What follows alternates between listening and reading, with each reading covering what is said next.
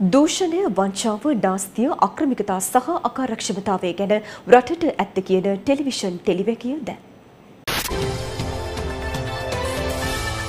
Television ටෙලිවැකිය අද ලියන්නේ හාරසිය හතලිස් අටවැනි ටෙලිවැකිය. අද ටෙලිවැකිය ආරම්භ කරන්නේ ලංකාවේ සෑම පාතාල අපරාධකරුවෙකුම පිටු පස දේශපාලුවෙක් සිටිය කියන තැන ඉඳලයි. හොඳේ ලංකාවේ සෑම පාතාල අපරාධකරුවෙකු පිටු පසම දේශපාලුවෙක් සිටී කියන තැන ඉඳලයි. හරිය අපි අහලා තියෙනවා මේ සෑම සාර්ථක පිරිමියෙකු පිටු පසම ආදරණය ගැහැනියක් සිටී කියලා නේද. ආං ඒ වගේ තමයි. තමයි. හොඳේ සෑම අපරාධකරුවෙකු පිටු පසම දේශපාලුවෙක් ඉන්නවා මයි. හොඳේ ඒකට හේතුවක් තියෙනවා. ඔය චන්ද කාලවලට මේ ඔය බොහෝ පක්ෂවල දේශපාලුවන්ට පාතාලේ නැතිවම බැහැ හොඳේ පාතාලේ නැතිවම බැහැ. බොහෝ ඈත අතීතය ඉඳලම අපේ රටේ මැතිවරණ වසරවල් හා ප්‍රචන්්ඩ ක්‍රියා ඒ අපරාධ අතර සම්බන්ධය හවාගෙන යනකොට පාතාලේ හරි අපූරුවට මුණ ගැහෙනවා. එතකොට මේ පාතාලේ හා දේ දේශපාලුවන් අතර සම්බන්ධය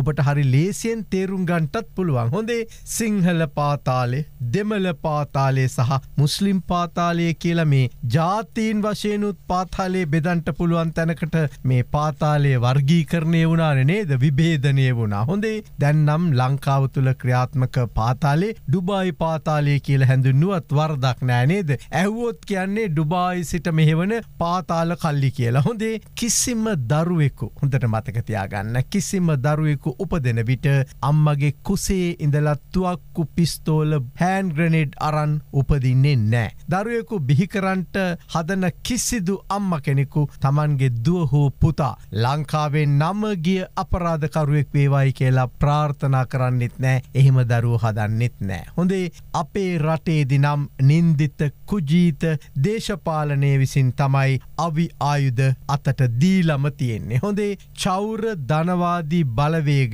ඒ හා සම්බන්ධ වෙනවා හරි අපූරුවට අන්තිමට දේශපාලුවන් සඳල්ලු තලවල සැපවිඳිද්දී පරම්පරාවෙන් පරම්පරාවට පලිගන්න.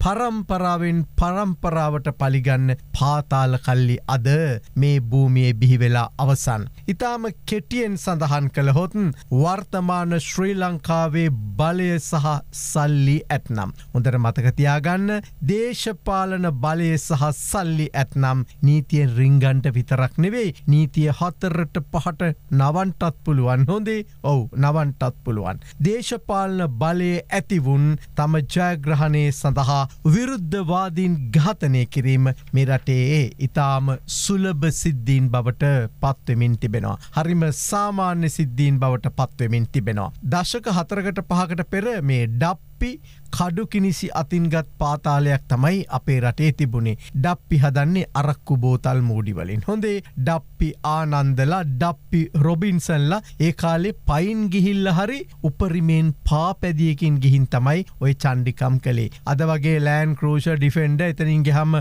මහා අශ්ව බල යතුරු පැදිවලින් ගිහිල්ලන නෙමේ එදත් ඒ අය ඩප්පි අතේ තිබ්බට බොහෝ ප්‍රාදේශය දේශපාලුවන් හා සම්බන්ධ වෙලා හිටිය උන්දල වෙනුවෙන් තමයි පෙනී හිටියේ. ඩප්පියෙන් කඩු කිනිසිවලින් ආරම්භ වුණු පාතාලය අද වන විට දේශපාලුවන් සේම. ඔය නීතිය රකින මහඋන්දලයින්නේ ඕංගොව්. ඒ නීතිය රකින මහඋන්දලගෙත් රැකවරණය ලබන තැනට පත් වනා. හරි සොත්ති උපාලිලා ගෝනවල සුනිල්ලගෙන් ආරම්භ වුණු දේශපාලන පාතාලේ. ඒ වචනය හොඳට මතකතියාගන්න දේශපාලන පාතාල. කාලේ තෙල් බාලා කිඹුල ඇලේ ගුණාලගේ සිට මාකඳුරේ මදුශ්ලා දක්වාතන් අද කොස්කඩ සුජීල දක්වාතන් දුරගමනක් ඇවිල්ලා හොඳේ දුරගමනක් ඇවිල්ලා. ප්‍රධානම සාධකය තමයි දේශපාලුවන් සහ මත්කුඩු. අද ප්‍රධානම සාධකේ දේශපාලුවන් හා මත්කුඩු. හොඳේ දේශපාලුවන් මත්කුඩු පාතාලේ සහ සමහර පොලිස් ලොක්කන්. හොඳර මතකතියාගන්ට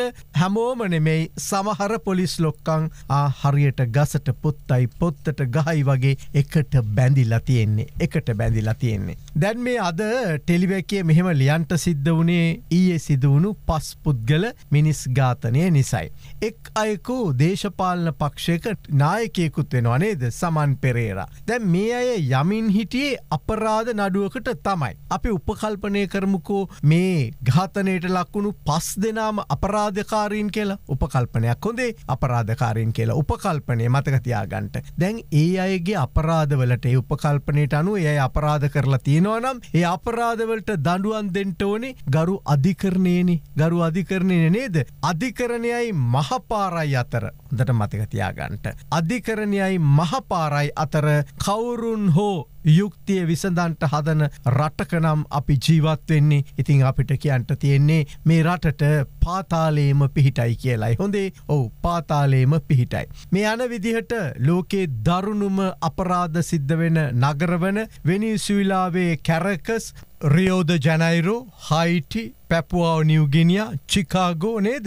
හොන්ඩුරාස්හි ශාන්ත ෆෙඩරෝසූලා ඇමරිකාවේ ශාන්ත ලුවීසෙම ඇෆ්ගනිස්ථානයේ කාබුල් නුවරත් අපි හරික්මට පරද්දාව හොඳේ මේ තමයි ප්‍රධානම නගර අපරාධවලින් පිරුණු නගර තව තියෙනවා මේ වහුඟක් ප්‍රධානයි. පාතාලය නිසා දැන්වේ පසුගේදා තෙලිජ්ජවිල අහිංසක තරුණයකුත් ඝාතනය කෙරුණ නේද. මේ තමයි පාතාලය. ශ්‍රී ලංකාවත් මේ ගොඩට එකතු වන දිනේ වැඩි ඈතක නැතිවේවි. විශේෂයෙන් මේ මැතිවරණ අවුරුද්ධ හොඳේ මෙහෙම මිනිස්සු මහමග මරණ රටකට සංචාරයකයෝ පෝලිමේ ඒවි ඩොලර් මල්ලුපිටින් නරන්නේද. ඒම මතක් කරමින් අද ටෙලිවැකිය අවසන් කරන්නේ. පාතාලය නම් යුක්තිය ඉෂ්ට කරන්නේ පාතාලය නම් යුක්තිය ඉෂ්ට කරන්න හදන්නේ එහෙව් රටකට නීතිය පොලිසිය විතරක් නෙවෙයි වැඩබල්ල පොලිස්පතිලත්න් ආයේ කුමකටද කියලා අහන්ටම වෙනවනේද. ඕන් එහෙනං ටෙලිවැකිය අවසන් කලා.